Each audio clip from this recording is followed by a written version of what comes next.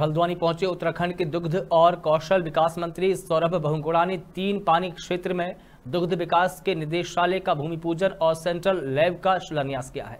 इस दौरान मंत्री सौरभ बहुगुणा ने कहा कि राज्य योजना के द्वारा पाँच करोड़ से डेयरी निदेशालय भवन और राष्ट्रीय डेयरी डेवलपमेंट बोर्ड योजना से सेंट्रल लैब खोली जानी है, जिसका फ़ायदा राज्य के दुग्ध उत्पादकों, उपभोक्ताओं और कर्मचारियों को होगा।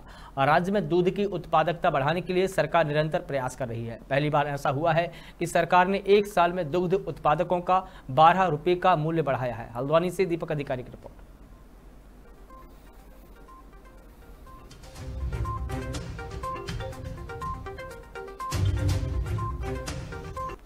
मंत्रालय संभाला है कोशिश हमारी यही रही है कि जो हमारे किसान भाई हैं, जो हमारे पशुपालक हैं, जो हमारे दूध पालक हैं, उनको कहीं ना कहीं सरकार की योजनाओं का फ़ायदा मिलना चाहिए। बहुत टाइम से एक पेंडिंग प्रोजेक्ट ये था जो हमारा डायरेक्टरेट यहाँ पर बनना था, उसके साथ प्रयोगशाला एक हमारे यहाँ पर बननी थी उसका आज हम शिलान्यास कर रहे हैं। और सारे किसान भाइयों को हमारे पशुपालकों को हमारे को मोबाइल हटाओ पीछे। और हमारे चेयरमैन मुकेश गोरा जी और हमारे सारे अधिकारियों का धन्यवाद करूँगा क्योंकि इन्होंने काफ़ी पीछे पड़ के इस प्रोजेक्ट पास कराने में अपनी सबने सहभागिता दी है।